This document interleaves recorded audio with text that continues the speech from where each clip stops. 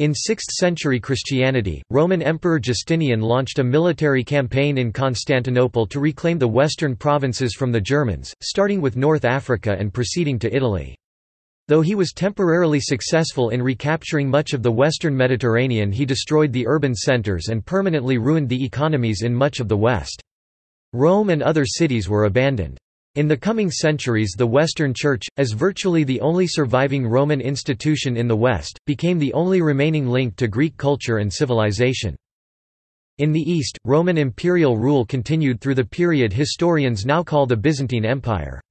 Even in the West, where imperial political control gradually declined, distinctly Roman culture continued long afterwards, thus historians today prefer to speak of a «transformation of the Roman world» rather than a Fall of Rome. The advent of the early Middle Ages was a gradual and often localized process whereby, in the West, rural areas became power centers whilst urban areas declined. Although the greater number of Christians remained in the East, the developments in the West would set the stage for major developments in the Christian world during the later Middle Ages. Second Council of Constantinople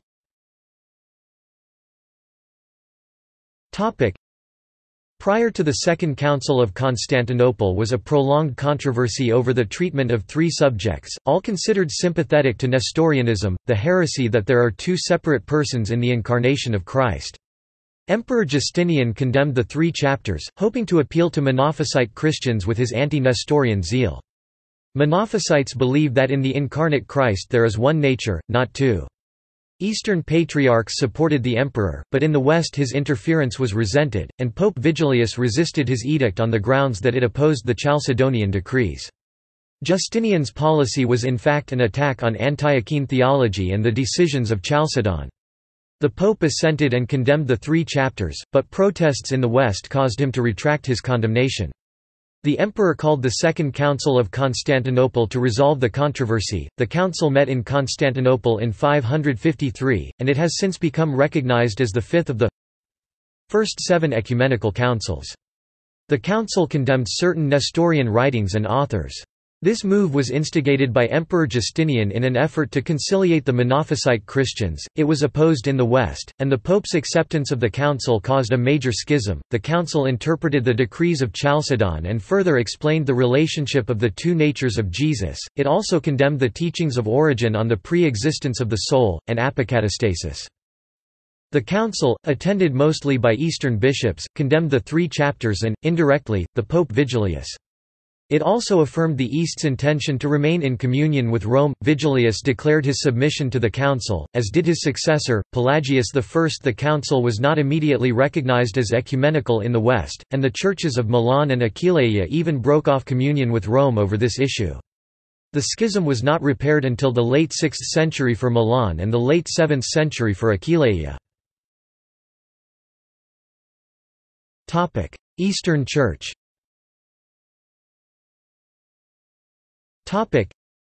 In the 530s the Second Church of the Holy Wisdom Sophia was built in Constantinople under Justinian. The first church was destroyed during the Nika riots. The second Hagia Sophia became the center of the ecclesiastical community for the rulers of the Eastern Roman Empire or Byzantium. Western theology before the Carolingian Empire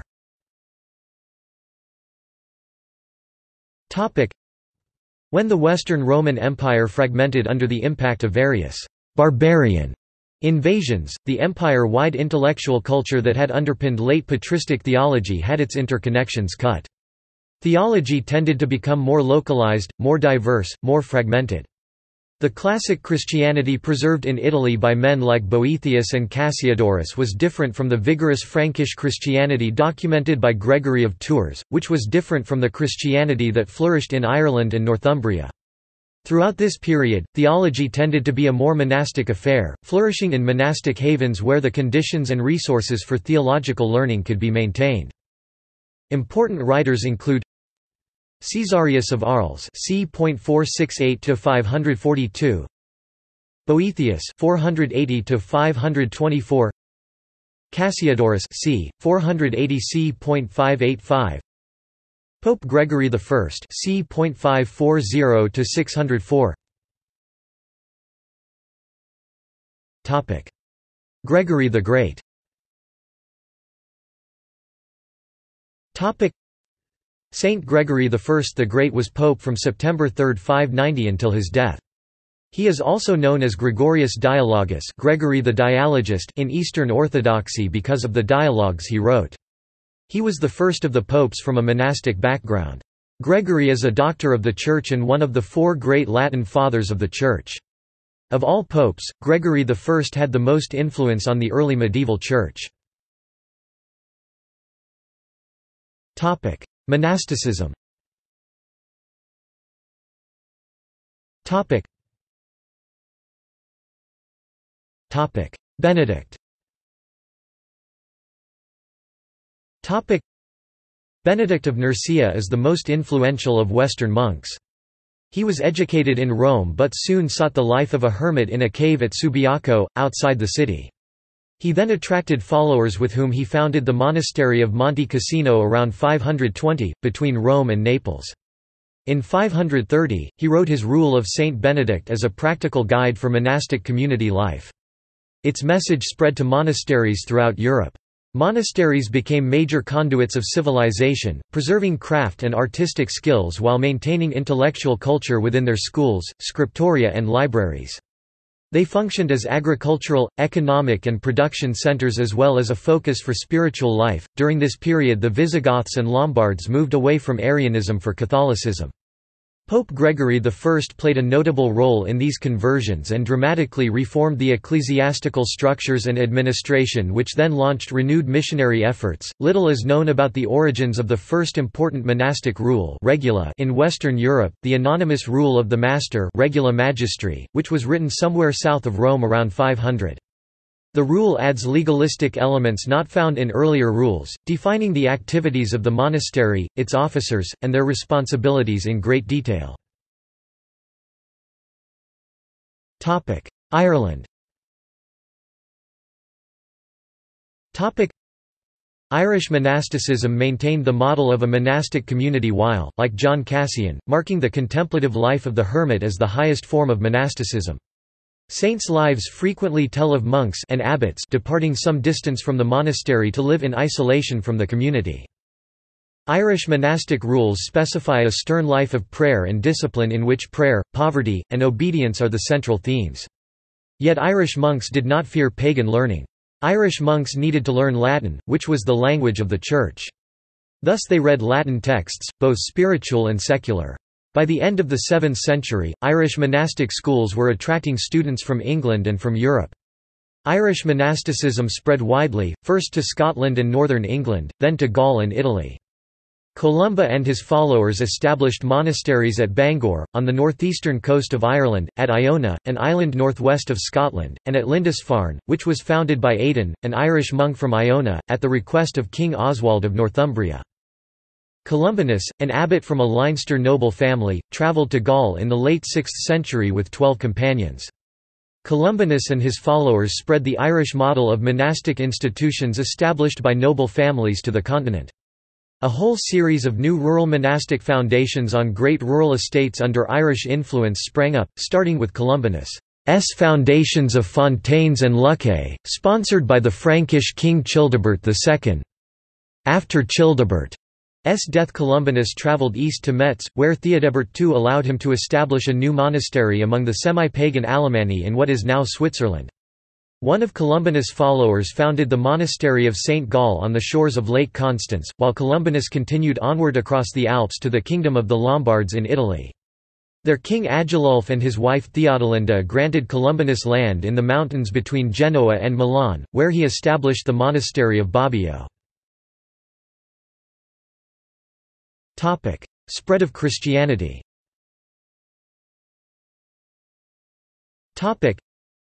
as the political boundaries of the Western Roman Empire diminished and then collapsed, Christianity spread beyond the old borders of the empire and into lands that had never been Romanized. The Lombards adopted Catholicism as they entered Italy. Irish missionaries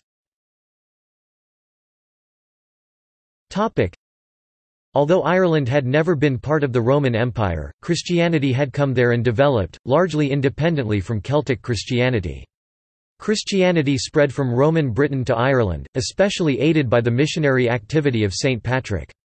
Patrick had been captured into slavery in Ireland, and following his escape and later consecration as bishop, he returned to the Isle to bring them the Gospel. The Irish monks had developed a concept of peregrinatio. This essentially meant that a monk would leave the monastery and his Christian country to proselytize among the heathens, as self-chosen punishment for his sins. Soon, Irish missionaries such as Columba and Columbanus spread this Christianity, with its distinctively Irish features, to Scotland and the continent. From 590 onwards Irish missionaries were active in Gaul, Scotland, Wales and England. Anglo-Saxon Britain Although southern Britain had been a Roman province, in 407 the imperial legions left the Isle, and the Roman elite followed. Some time later that century, various barbarian tribes went from raiding and pillaging the island to settling and invading. These tribes are referred to as the Anglo-Saxons, predecessors of the English. They were entirely pagan, having never been part of the empire, and although they experienced Christian influence from the surrounding peoples, they were converted by the mission of Saint Augustine sent by Pope Gregory I. Franks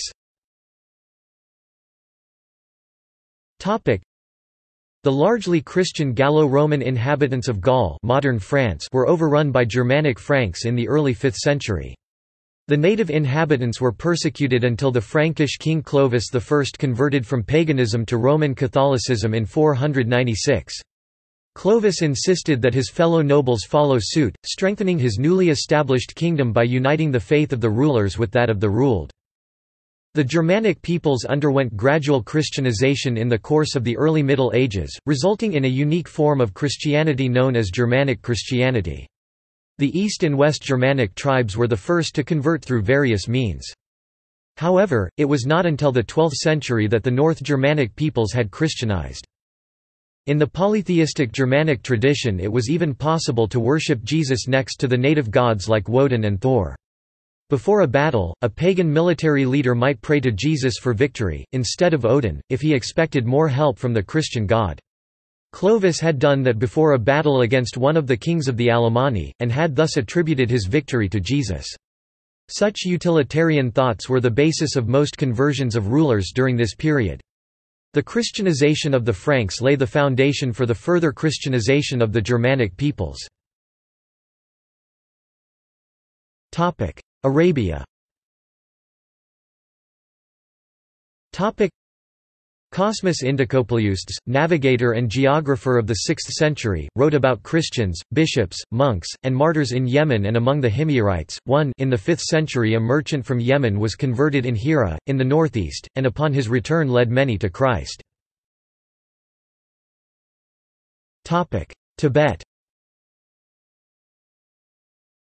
Tibet it is unclear when Christianity reached Tibet, but it seems likely that it had arrived there by the 6th century.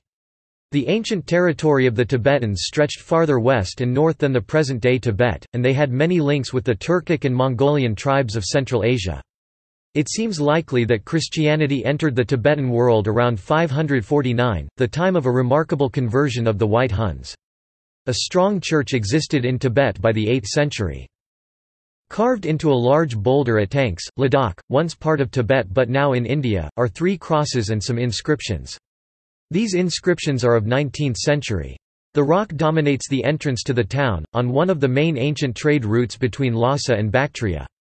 The crosses are clearly of the Church of the East, and one of the words, written in Sogdian, appears to be, Jesus. Another inscription in Sogdian reads, in the year 210 came Nosfarn from Samarkand as emissary to the Khan of Tibet. It is possible that the inscriptions were not related to the crosses, but even on their own the crosses bear testimony to the power and influence of Christianity in that area. Timeline.